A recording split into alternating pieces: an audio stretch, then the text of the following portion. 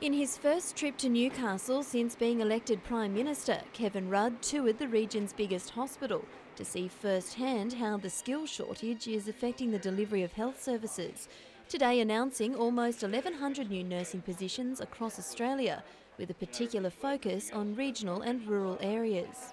Here in Newcastle, I'm pleased to say that we'll have 50 of those places allocated to the University of Newcastle, specialising and with an emphasis on mental health. In the Hunter for a community cabinet, his ministers then met at the CSIRO Energy Centre, where a few noisy polar bears from Rising Tide tried to heat up the climate change debate. Newcastle is the world's biggest coal exporting terminal. It's Australia's biggest contribution to the problem. If you look at the huge uh, areas where coal is so important, the Hunter's right up there. So much so, Climate Change Minister Penny Wong will meet with some of our key industries tomorrow to look at how the region will be affected by the carbon trading scheme. The difficulty at the moment is the devil does lie in the detail, and we're awaiting the final detail. But we intend to get the detail right and to do it in an economically responsible fashion, including for critical regions like the Hunter. The Hunter Business Chamber is also hoping to bring some of the region's bottlenecks to the government's attention. Roads, rail, and port, they are the three big um, solid infrastructure needs that we have, and they all are fairly intricately linked. However, anti binge drinking campaigner Tony Brown believes social issues are just as important. He'll discuss the region's battle with alcohol and antisocial behaviour during a one on one meeting with the PM tonight. We'll be asking the Prime Minister to take control of this whole thing away from the states and the councils Obviously, the PM doesn't have time to meet with everyone, but he'll hear about a variety of issues on the minds of Hunter residents during tonight's Community Cabinet. We'll have all those concerns in the news tomorrow. Penny Evans, NBN News.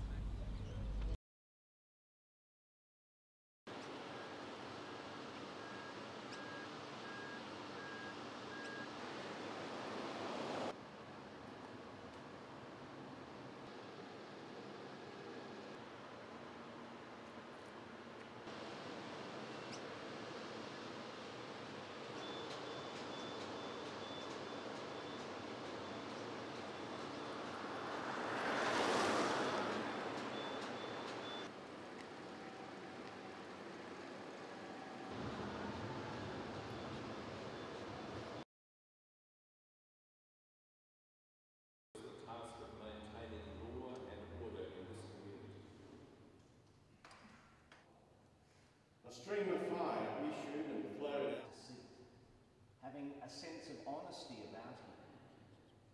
For Nathaniel coming towards him, he said of him, Here is truly an Israelite in whom there is no deceit. Nathaniel asked him, Where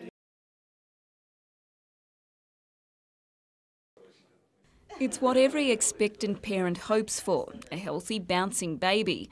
And Ben and Rachel McNamara couldn't be happier with their little lady, Ella Marie. But the tragic reality is not everyone is so lucky. Stillbirth is a very traumatic experience for the family as well as midwives and um, all the staff concerned. So, and we don't know a lot about it. Of the 16,000 pregnancies at the John Hunter Hospital between 1995 and 1999, 1% were affected by stillbirth, and researchers have found 59% of cases were male. The overrepresentation of males came as a surprise. There was also concern that mothers with type 1 diabetes had a high incidence of stillbirth. It's possible that patients with type 1 diabetes have abnormalities in the blood vessels supplying the placenta, and that may reduce the amount of nutrients going to the baby. As the research advances, it's hoped we'll be able to better predict which women are at risk. But in the meantime, there's certain behaviour anyone planning to become pregnant should address. To make their um, pregnancy healthier, such as smoking and alcohol and their diet. Jessica Phyllis, NBN News.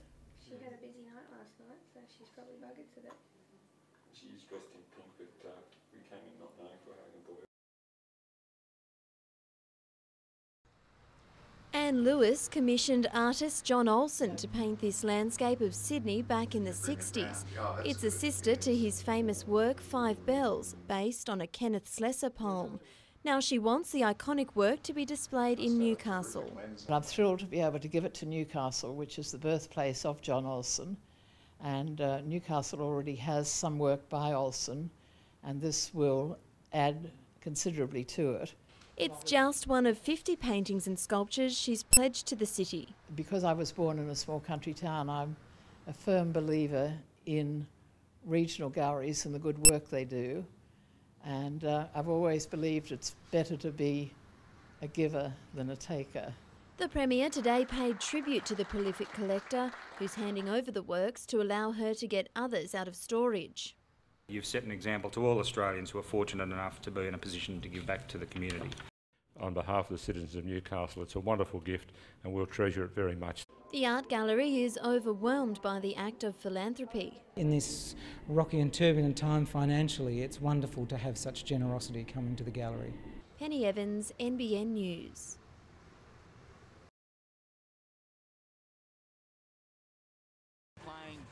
When you're the Newcastle Knights, almost everyone has an opinion on how best you should operate. Only last week, in an interview with NBN Television, Newcastle Jets owner Con Constantine suggested the club was preparing itself for sale. The next six to 12 months, we'll find out that the Knights have gone to someone else, been privatised. We're not going to go out there and do something behind the members' backs, nor constitutionally can we do that. We have to keep people informed.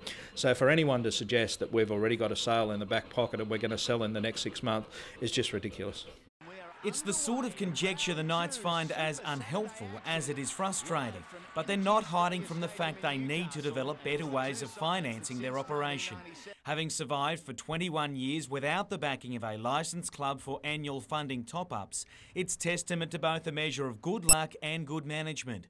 And it's the latter they're implementing now in order to seek more secure means of long-term viability.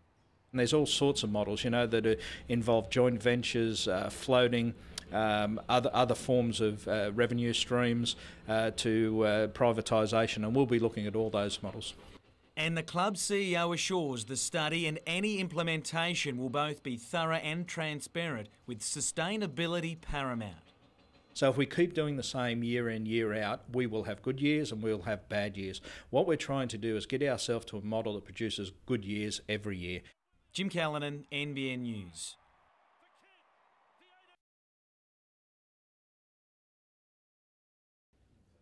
He was trying to look at the positives, but almost everywhere Gary Van Egmond looked today, there seemed another problem as he scrambles to have enough troops for their coming game. If we don't keep our under 20s here, um, we may not even be able to field a bench.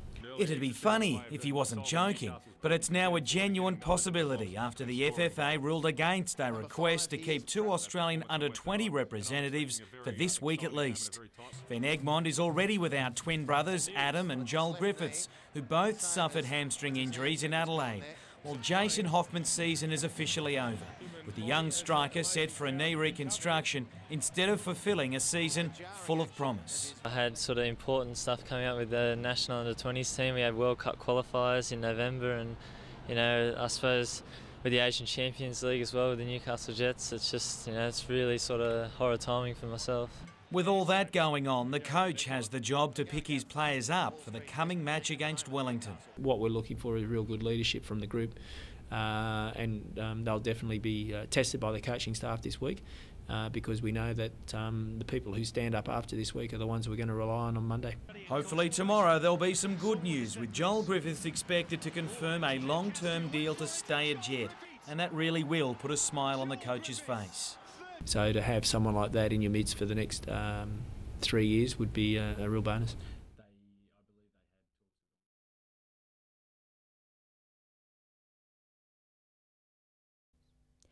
Prime Minister Kevin Rudd painted himself as an ordinary Australian as he addressed a school hall full of them.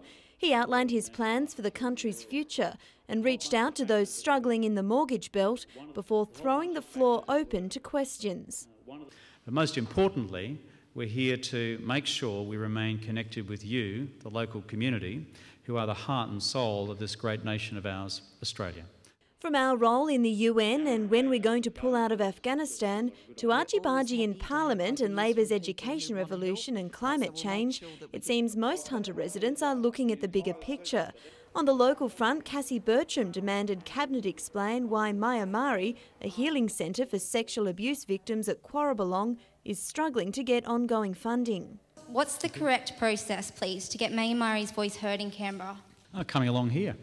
And Kids Safe Hunter asked the PM to commit to funding their unique child safety demonstration home at the John Hunter Hospital. Under the previous government, construction was set to begin next week. Now it's in limbo. We're losing our uh, support, our community support. Uh, we stand to lose this project, and that's not what KidSafe want to see. After just 18 questions, the forum was over, and the ministers moved into closed sessions with a lucky few. Kevin Rudd promised feedback on all the issues raised, if not the money and action many so desperately want. Penny Evans, NBN News.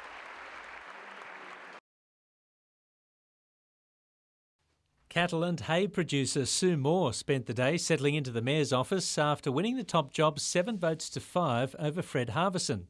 A councillor for nine years, she says she's chuffed to become the first woman in the role, but doesn't want that to get in the way of her duties. I'm trying not to lean on the fact that I'm the first female mayor. I sort of focus more on being the best councillor I can. The revitalisation of the town centre and lobbying for the F3 extension to Branxton will be her priorities, but she says the freeway extension throws up other issues for Singleton. If we do get the F3, Singleton could become the bottleneck then, so Singleton needs to um, define a bypass route and, and look beyond that before um, before we become the next bottleneck. Meantime, Barry Rose has been returned as Upper Hunter Shire Council Mayor, and one of Muswellbrook's youngest ever mayors has been appointed, 32 year old Martin Rush. Paul Lobb, NBN News.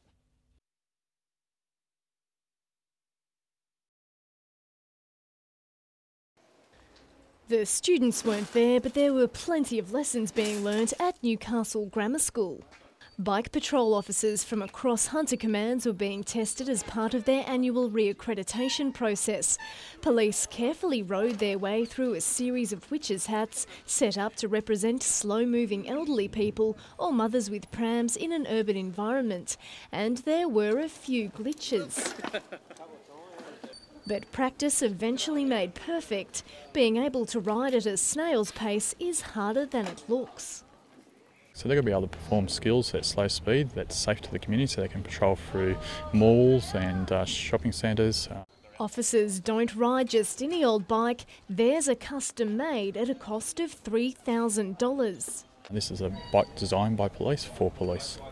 So, why do they train in schools? One reason is they provide a variety of terrains for police to practice on, but also to familiarise the officer with the layout, which encourages them to return as part of their patrols. It reduces the uh, risk of uh, graffiti um, and antisocial behaviour that may be conducted outside the school hours. It also breaks the barriers down with the students. The students feel free to talk to the police.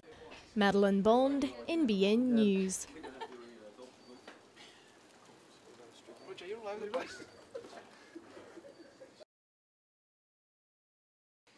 Despite this year's poor vintage conditions and the increasingly tight economic times, the Hunter Valley Boutique Wine Show has a record equaling number of entries in its 20th year 540 bottles from about 80 wineries. I thought maybe we'd have lower entries this year, but it was a great surprise to get the same number as last year, so we're really happy. They've brought in five extra judges to ease the strain on the panel's palates, including some of the Valley's most notable wine industry personalities. There are so many boutique producers in the Valley, and uh, this is a very good forum for them to get the feedback they need so that they can look at improving the breed. And the reputation of a medal at such a regionally exclusive show? That actually is increasing in value and it gives them a hook to hang their marketing on. So that when you go into their cellar door, if it's won a gold medal here, then it's going to be a, a gold medal wine wherever they go.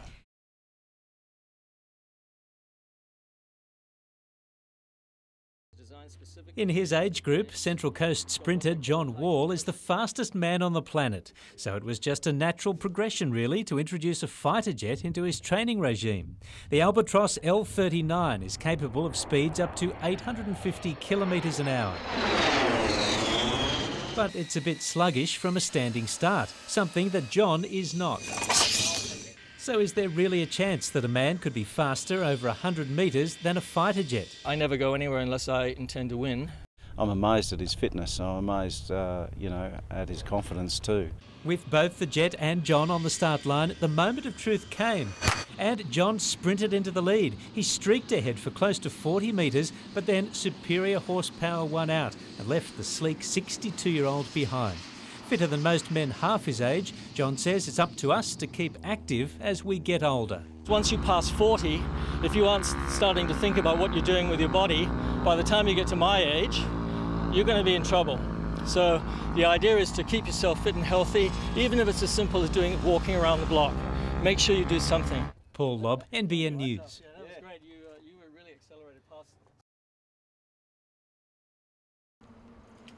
Joel Griffiths is still yet to sign a purported $1 million deal, which would see him stay with Newcastle for another four seasons. The striker says there may be some movement on Thursday, and with other clubs allowed to approach players from tomorrow, it shapes up to be an interesting few days. Meanwhile, scans on Griffiths' hamstring have indicated he may be out for up to a month. Twin brother Adam looks like missing just the one game, while Danish import Jesper Håkansson's corked thigh may be right for Monday's clash against Wellington.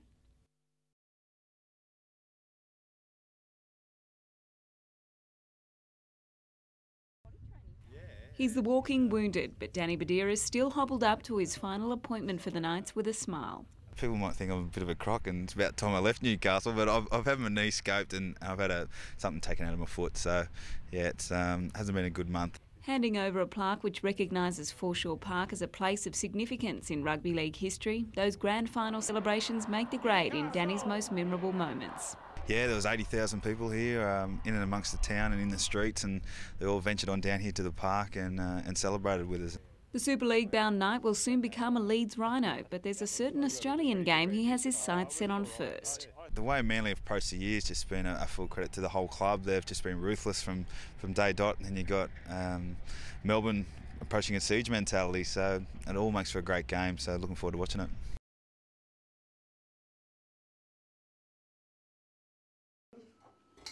After months on the bike, it's now all about the family, and Ben Demery is savouring every little bit of R&R. Just weeks ago, the partially blind cyclist was wrapped in green and gold, representing Australia in the 1K time trial with pilot Sean Hopkins. They finished both races with Paralympic records, subsequently broken by Britain, but silver was certainly sweet enough.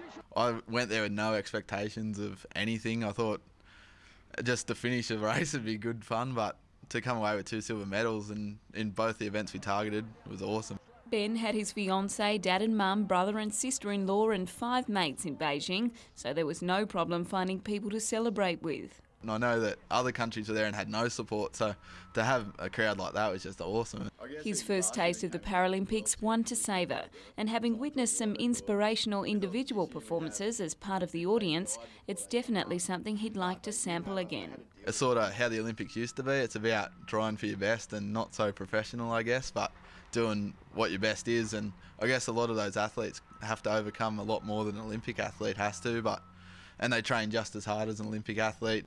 Jessica Phyllis, NBN News.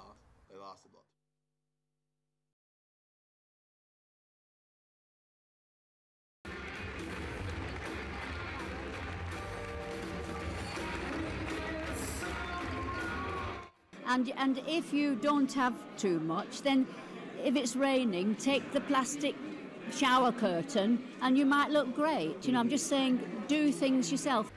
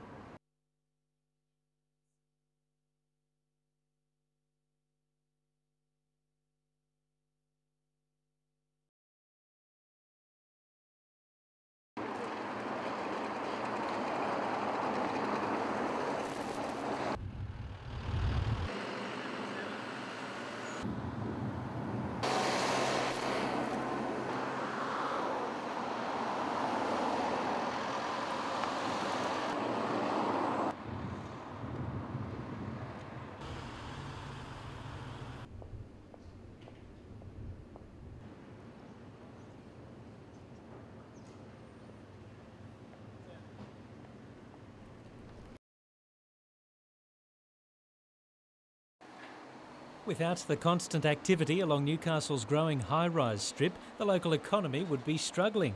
In the last five years, there's been a doubling of engineering construction in the city. There's a lot of apartment uh, approvals and development taking place. The Royal Newcastle Hospital site through Mirvac's a, a good example. And there's even a lot in the pipeline if we're looking at uh, general property trusts with the development at the, um, of the mall in the Newcastle CBD. The Master Builders Association says large scale construction is surging while new house building is taking a dive. The residential sector is uh, struggling uh, a little bit. We're finding that renovations and alterations aren't too bad, but new housing is certainly well down on previous years. I think the uh, figures for August, the DA approvals were down about 10% uh, on August of last year. Meantime, new figures from the recruitment company Hudson show that mining remains the main driver of the Hunters economy, with employer confidence up on last quarter. More than 50% of managers surveyed said they would be hiring more people in the next three months. The Hunter was um, was second uh, only to Queensland with regards to employer confidence, uh, which is very positive. Prior in the prior quarters, we've sort of trailed behind WA as well. Paul Lobb, NBN News.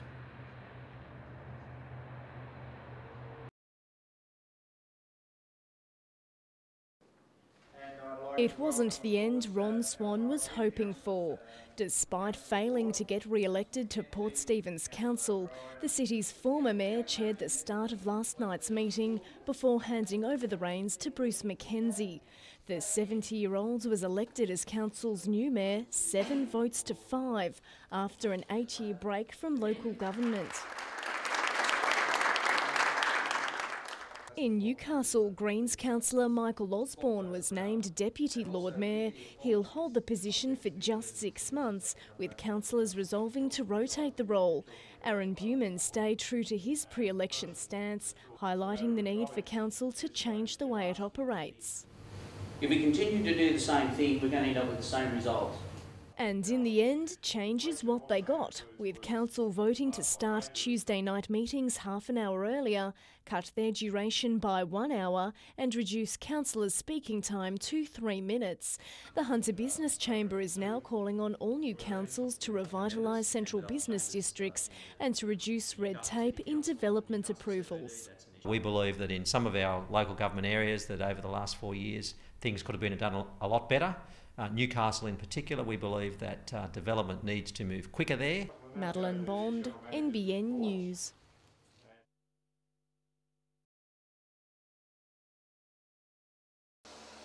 Two thousand and seven World Superbike champion James Toseland gets more excited about fighter jets than passenger aircraft, but after investing in Aeropelican with his English mate Ian Woodley, the 27-year-old is showing an interest.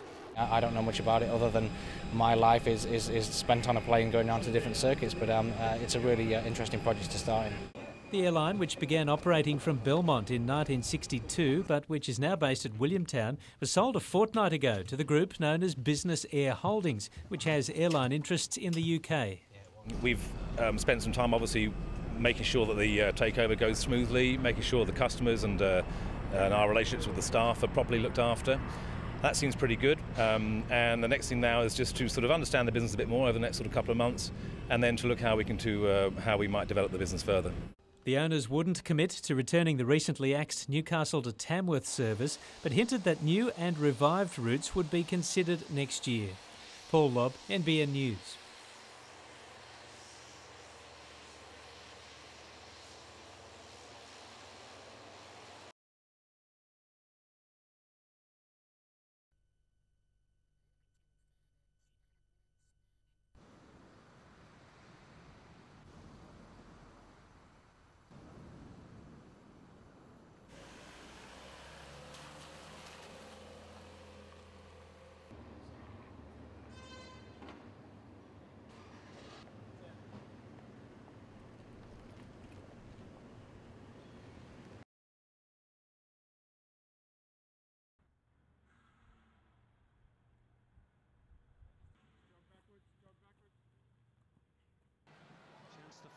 Towards Sergio Van Dijk. What a save! By...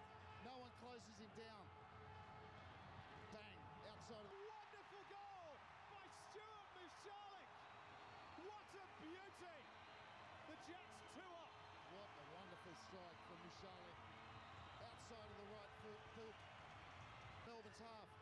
No one closes in. If anyone's welcomed the warmer weather, it would have to be Josh Blair, who's trained all through winter for the toughest race on the surf sports calendar. It's an event you'd love to say that, that you've won. Um, it always goes down in you know in history. There's not many names up there that are, that can say they've won the Coolangatta Gold. The closest he's come to doing that was in 2005, finishing seventh. He made his debut a decade earlier, and still today, it's an event he can't let go of. Just the challenge of the race. I mean, you- you're over that four-hour mark. There's so many different elements with the with the conditions you can get up there on the Gold Coast. Held on the 19th of October, the ultimate test of endurance includes a ski, board, swim, and three run legs, a 46.65 kilometre caning, and what a way to start a season. It's a springboard into obviously the, the Kellogg series will be running again, and I'll I'll most definitely probably set myself after after the gold to do the trial. Unlike Blair, Paul Harragon is a little less prepared for his own personal Everest, who, with wife Pam, are about to walk the Kokoda track. But perhaps the chief should have been carrying Josh's board today, the eternal optimist freely admitting training's fallen by the wayside. I've still got a couple of weeks to go, so I'll, I'll dig in a bit more. But I'm kind of hoping once I get there, the old instincts will kick back in. I'll be should be okay. Adam McIlrick, NBN News.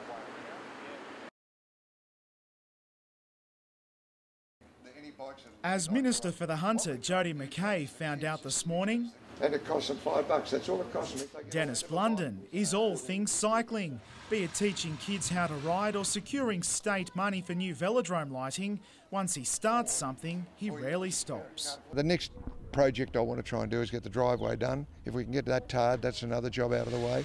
But it's inside where the real work is being done.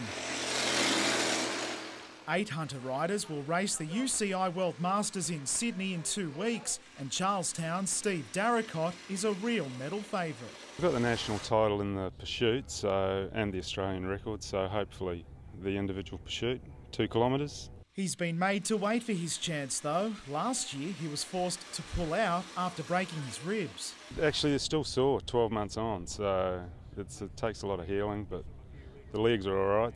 As for 72 year old Dennis, he'll sit the Masters out after breaking his pelvis three weeks ago. Even still, he's preparing a comeback, a world record attempt no less, to cover the most laps in one hour. I want to do that before I retire. If I can get that, that'll do me then. I'll get that and that'll I'll retire then. I think. Adam McIlrick, NBN News.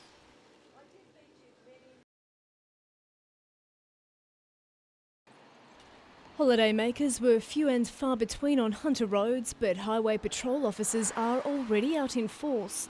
Operation Slow Down begins at midnight along with double demerit points. In the Hunter, police will target speed and drink driving offences with extra officers on duty. There will be more RBT done in and around Newcastle and the Lake Macquarie area. They'll also focus on fatigue, seatbelts, and illegal mobile phone use. While the long weekend doesn't officially start until tomorrow, traffic is expected to build up in the region well before. We can pretty well expect it right from um, this evening. And police are reminding motorists not to be complacent on rural roads. Drivers just need to be aware um, on country roads that it's just as dangerous as driving on major highways as well. That danger was realised at Howes Valley late this morning when a 61 year old Wollongong man died after his motorcycle collided head on with a van on Putty Road. Police say he was trying to overtake a car at the time of the accident. Madeline Bond, NBN News.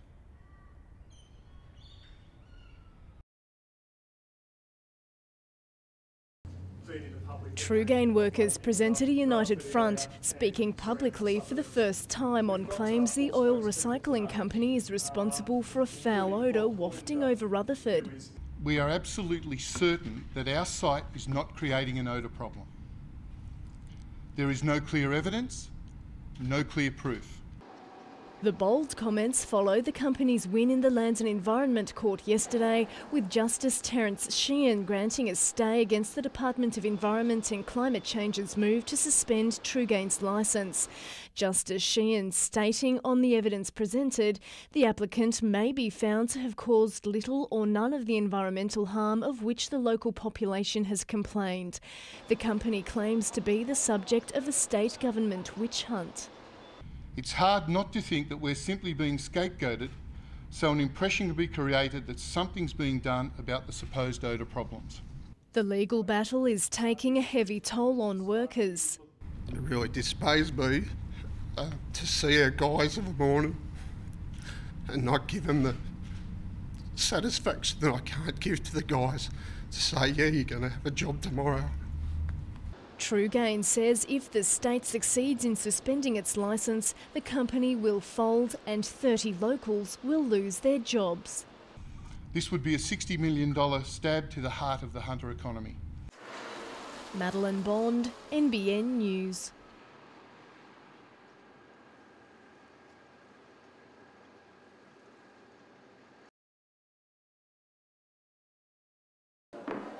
Since opening in 1993, Port Stephens Winery has built a business that some of the bigger Hunter Valley vineyards would envy. As well as its Aussie visitors, the cellar door welcomes around 70,000 international guests each year, mostly from Singapore, Korea, Japan, and China. And as a result, even the staff have become multilingual. We've really capitalised on the tourism market, uh, both domestic and international. Uh, we'll have anywhere between you know, six and ten coaches a day come through here to experience the Australian wine experience. They stop in for an authentic Barbie lunch on their way from Sydney to Nelson Bay to see the dolphins. But the operation in Nelson Bay Road has just been sold to Murray's Craft Brewing, and the new owner wants his own beer on the menu right next to the wines. The uh, microbrewery has been lodged with uh, Port Stephens Council, uh, and the ultimate goal there is to really create a, a, a, a total beer, craft beer, boutique wine, and great food experience, and we'll do that right here in one, at one location. The winery has already advertised for three new staff, but as many as 20 will be needed if the brewery is built. Paul Lobb, NBN News.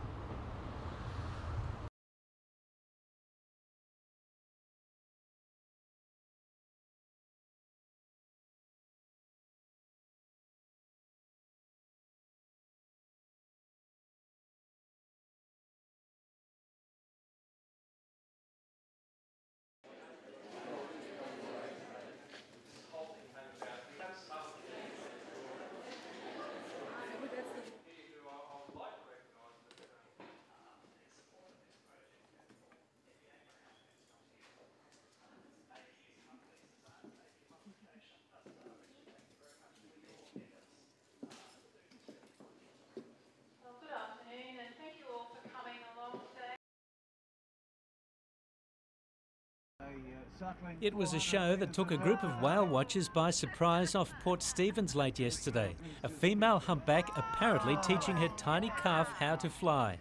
We've been watching a mother and a calf from a bit of a distance, and suddenly the calf started to go off, and uh, it was amazing. And then all of a sudden, three more started to go. So we had mothers and two calves, and uh, it, the water was alive with jumping whales. For an hour, the little one practiced launching itself out of the water with mum looking on only metres away. The humpback mothers bring the calves in very close along the coast, and there's about 700 on their way down right now from uh, the barrier reef. So once the calf, which has been feeding at 400 litres of milk a day, uh, has had enough to eat, it just gets very active. Bit of a sugar hit, and off they go. And, and they won't, you can't keep them in the water, they're trying to fly. Scientists believe the art of breaching may be an alternative form of communication other than underwater sonar, or it could be to shake free barnacles and dead skin. Mum also gave Bub a fin slapping demonstration, which the pint sized performer quickly managed to pick up as well. The whale's return trip to Antarctica will be complete around the middle of November. Paul Lobb, NBN News.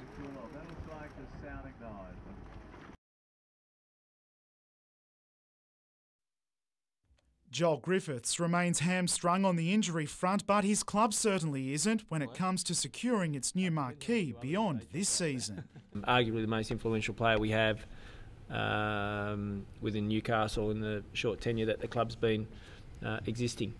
And the Jets have backed up their claims with a three year deal, among the biggest in their history, beating the new A League franchises to the Johnny Warren medalist. They did show uh, interest, but saying that, you know, you got to think um, outside the box, and I did that, and I thought Newcastle was the best option at my point in my life, on and off the field. The 29 year old says he still has the option to play overseas during the A League off season. Ultimately, though, it's up to club bosses to grant such leave.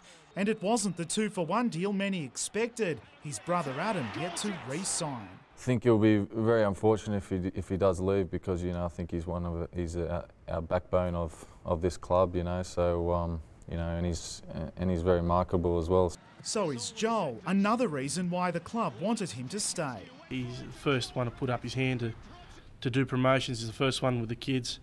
Um, I can't be prouder of the way that he conducts himself in relation to wearing our, our club colours. Adam McIlrick, NBN News.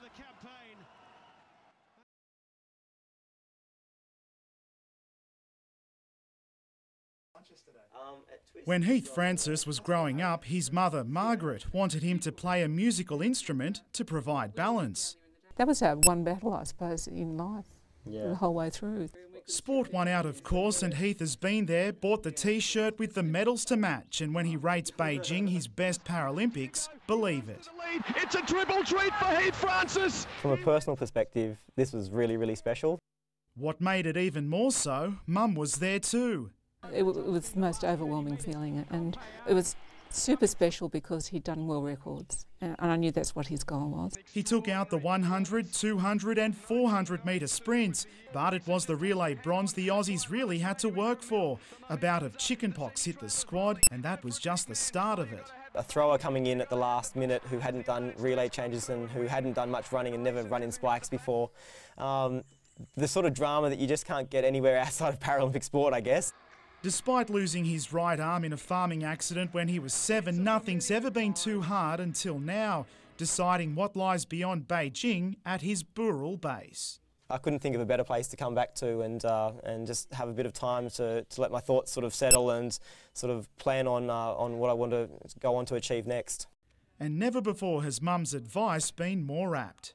That bit of music is still there within him, and you just want all those skills that you've been able to uh, offer your children as they grow up to be implemented later in life. Adam McIlrick, NBN News.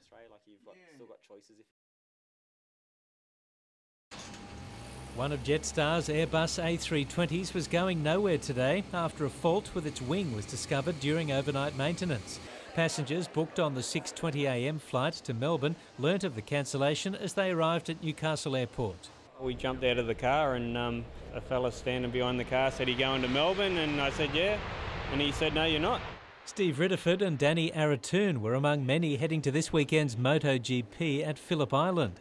They understand that mechanical problems happen, but were angered by the way the airline handled the affair. They gave everyone a phone number for a booking office and said, um, "Go your best." I'll never fly with them again. It's um, I think it stinks. It's um, yeah, no explanation for it. No one can answer anything. And the customer service call the number they gave us, there was no answer. You were on hold for some some fellas were on hold for an hour or two hours. Jetstar has since apologised for the way passengers were treated this morning and arranged to bus some to Sydney to meet ongoing flights. Others were offered refunds or flights on other dates. Paul Lobb, NBN News.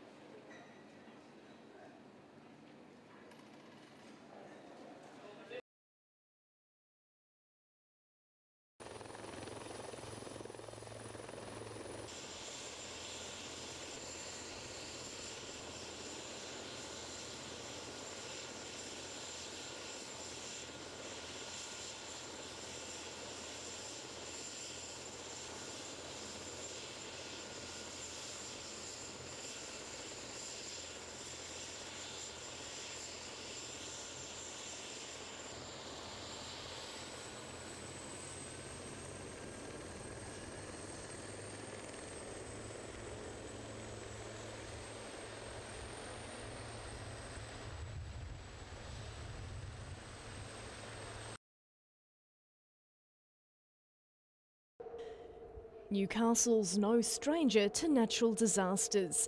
In 1974, the city was hit by a cyclone commonly known as the Sygna storm.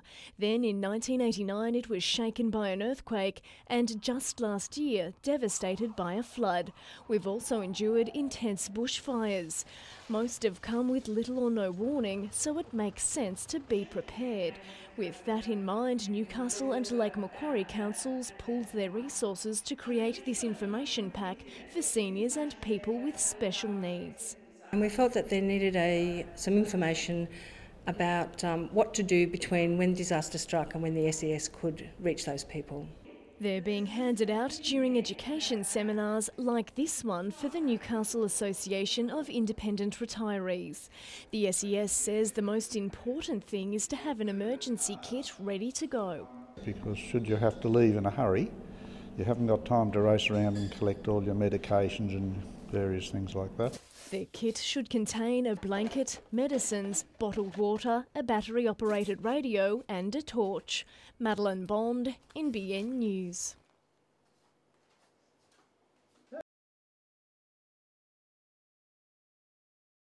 We've spent uh, just over $170 million on 15 new locomotives and 328 new wagons, and they're very much to support the growth that's both here now and coming over the next three to four years in the coal chain.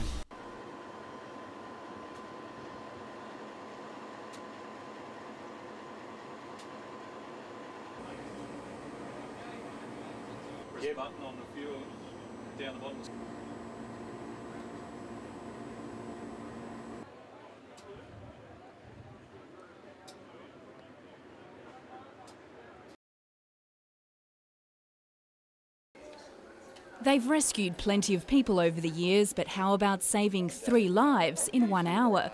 According to the Australian Red Cross, every blood donation helps keep three people alive, whether they be accident victims or leukemia and cancer patients. We're there servicing the community uh, during floods and storms, and this is only another part of our community effort. The Newcastle unit has joined SES volunteers across the state, spurred on by a loss in their ranks. One of our young members, I believe in Sydney, uh, had leukemia, and the call went out for extra blood, but unfortunately she's since passed away.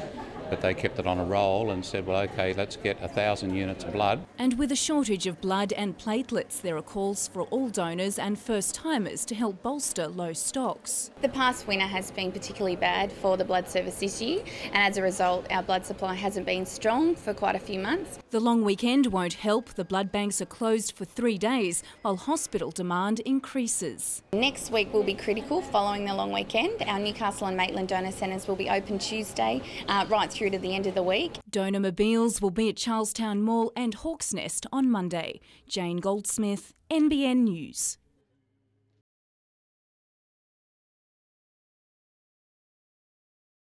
companies. They've got a whole lot of museums and it's all uh, are very doing that kind of thing. If you go to Tokyo.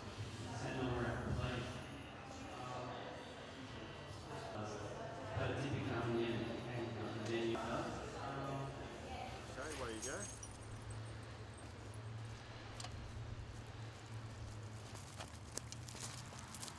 Rusting. Because I don't know how to put it back together.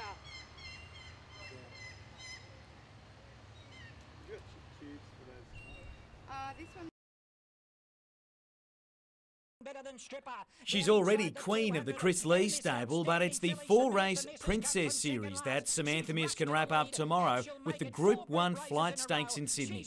Yeah, it's uh, only been done once before, uh, actually by a Newcastle horse in 1993 in Enks, so um, hopefully the tradition continues. Drawing wide, it'll be a test of her dominance over the fillies, but she must if she's ever going to challenge for the famous Cox Plate. If she steps up to that next level, it's a huge ask. Uh, weekend hustle on them type of horses, they're the best going around, and it's you know probably Australia's greatest race. So um, I'm very mindful of that. So we'll just get through tomorrow and see what happens. Given the way he throws them, few would back against Tua Lavini. Despite a short professional career, the 21-year-old winning five from six, he's landed himself a shot at the Australian light middleweight title on Sunday in Melbourne. Fighting undefeated Victorian Pat Rulo, it's easily the biggest bout of his career. And Newcastle's King Edward Park turns car circuit on Sunday for the two day hill climb event. Sunday is round seven of the State Series, while on Monday it's the Tri Club Challenge that will have drivers racing the clock.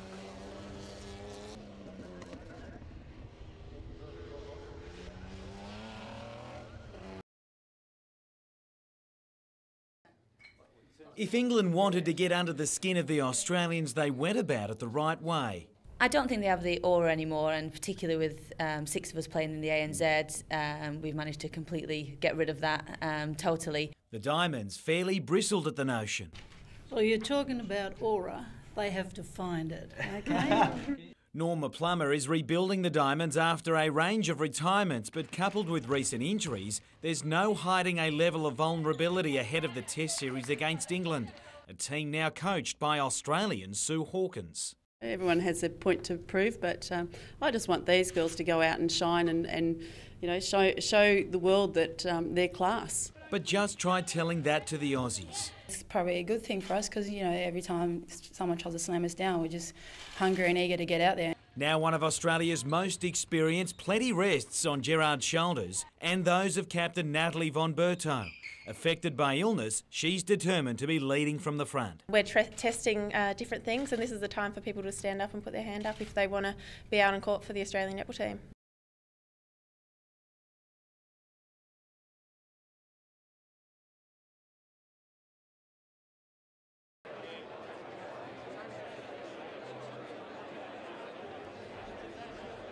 Can't be a fence sitter, so I'm going to take Manly. Just the um, the way they've just gone about the whole year. Unfortunately, one of them is going to be a bit unhappy, and one of them is going to be happy. So uh, I think it's Teddy's turn. You know, Quinny won it last year. I think Teddy uh, is due for one. I think uh, I'm going to show some support for the, the club I'm going to, mate, and go for Manly. They've been uh, in some pretty good form over the oh, pretty much all season. So uh, yeah, I'm, I'm, tipping them. I think Melbourne, just because you know there's so much going against them. They've had you know some negative press, I guess, about the grapple and that sort of thing, and, and about their whole club. So I think that's going to work for them.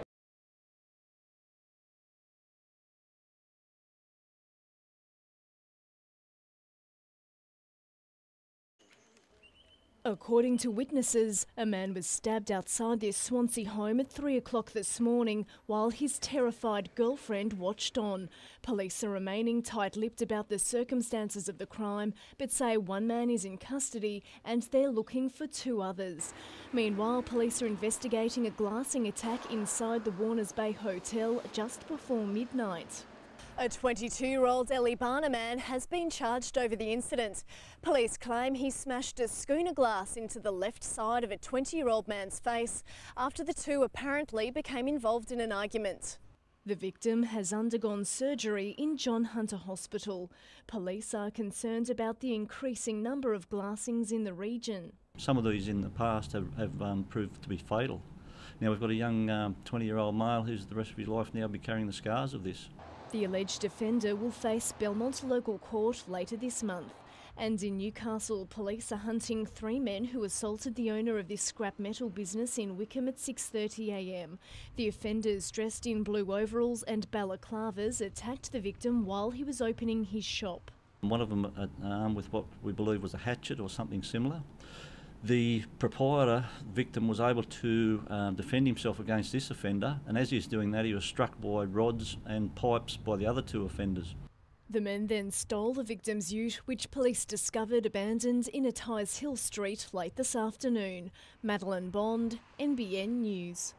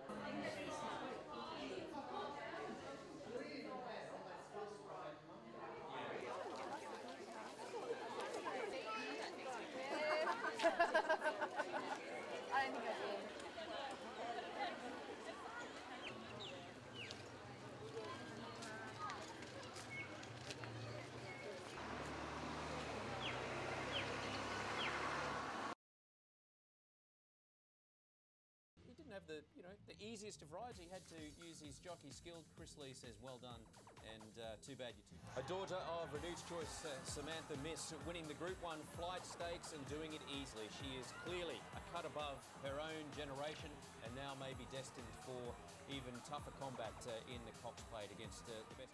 Ducking up on the inside, then Red Lord galloping and running. Bianca's well clear with 150 to go. Newport appears to be the only danger on the inside, and it's a big danger. Newport draws level, and the Brisbane Cup winner wins the Metro. Newport beat Bianca. Third home, get up Jude.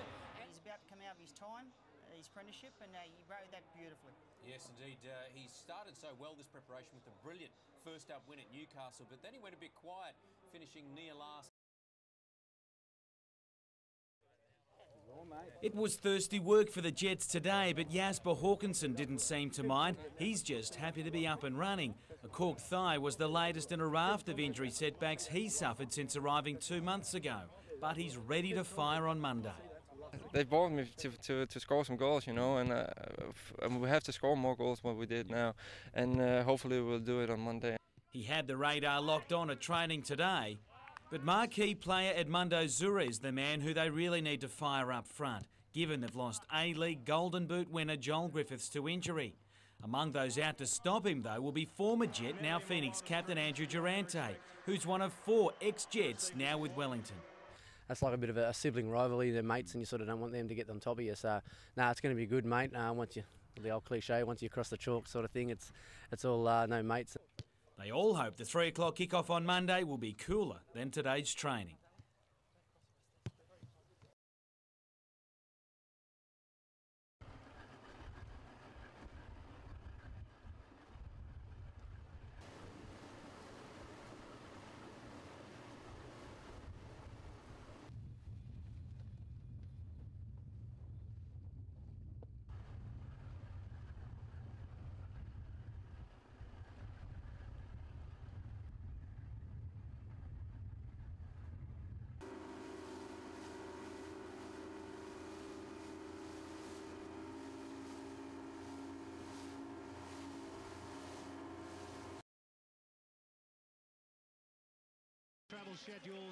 The Mariners men were less than impressed to read in an Adelaide paper they had discipline issues. Seven minutes in, and the referee must have agreed with Pedj Bojic, the man in question. Uh, he's clearly got the ball. It's clearly no penalty. While there were queries over the foul, Travis Dodd left no doubt with the penalty. It was a fruitful first half for the home side, who added to their count care of a corner and a Robbie Cornthwaite header. Well, it's gone well over the goalkeeper and it's headed in by. The Mariners responded. Adrian Caceres with a searing shot that did everything but go in. And just before the That's break, good pass. Caceres lines up the shot. 2 and- 0 down, the Mariners was still a chance, but only minutes into the second half, Adelaide looked to have secured all three competition points, care of Cristiano. And it's forced home by Cristiano. It forced a few Central Coast changes, but the tide turned on the back of this challenge. We're arguing. Ange Costanzo with the challenge on Matt Simon. Putting Mile Jedinak on the spot, he doesn't miss from here. The kick. And he tucks it away. The Mariners marksman was at it soon after, with Jedinak proving he can do it from long range as well. Drives one and scores a second. 3 2. Suddenly, the impossible proved probable, and Matt Simon's form of late has been irresistible. When his angled shot found the net, the Mariners felt like winners. He's round the keeper. It's 3 all. Incredible. The Central Coast almost did steal it, but considering the position they were in, they'll settle with one of the greatest comebacks in their history. What a match we've had at Hindmarsh.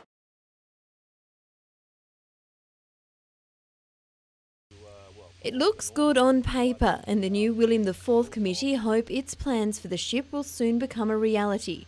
After a generous donation from Bloomfield Colliery, two new diesel engines will arrive from China in the next month or so.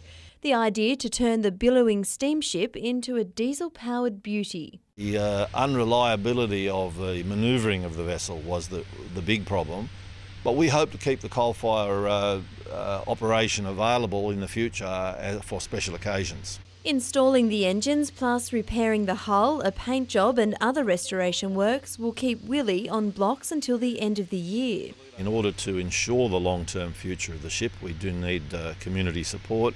Uh, we're trying to raise another $150,000 to complete the project. Once the ship is back in the water, its new home will be here at Honeysuckle. A floating dock will be built near that red buoy, so the William IV is close and handy to the new Maritime Museum.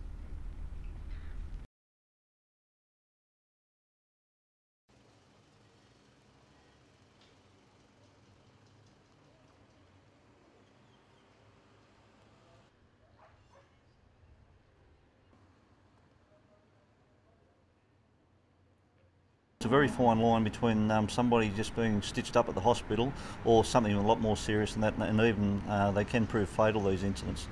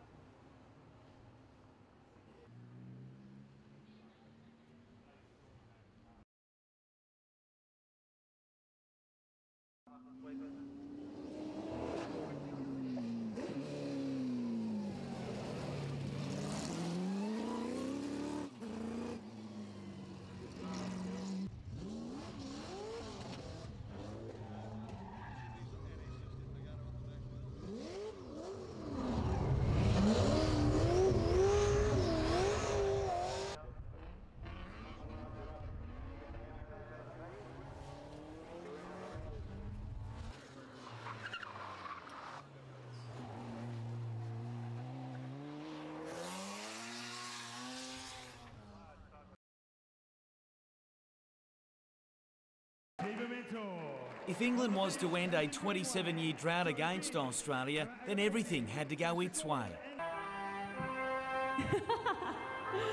Playing the wrong national anthem wasn't a great start, but with the home side without sharpshooters Catherine Cox and Sharelle McMahon, they remain vulnerable. Ranked third in the world, England is desperate to climb higher, and a new look squad showed it's definitely on the improve. With athleticism at the back, Oh, great jump then, Sonia Mkoloma. Australia's big guns were forced to provide the answers. Reply from Gerrard. The Diamonds sparkling in the goal circle as well as they opened a small buffer.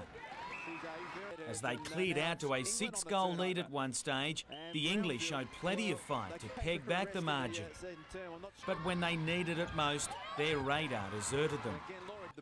Not so the Aussies, who maintained a winning margin, built on some wonderful defence. Oh, what on Mo'onia Gerrard. Australia home, 42 39.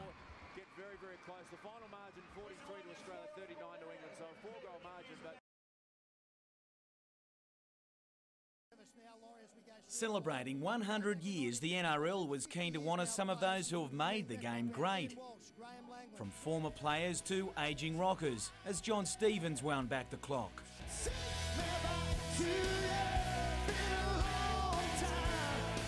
No prizes for best cook on ground, as smoking Barbies got bashed about.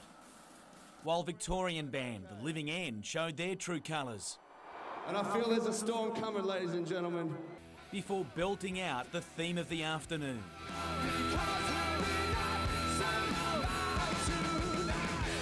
This battle came with all the trimmings. Even the prize required a military escort into ANZ Stadium. But the trophy, which features Norm Provan and Arthur Summons, was placed in their care before kick-off. Finally, the fight to see who'd leave with it was on. Fullbacks don't often meet one-on-one, but Brett Stewart was quick to welcome Billy Slater to Sydney. Stewart soon had his own issues. He says, where did that go? His opposite happy to show him how it's done as their personal duel raged. Right up above the pack.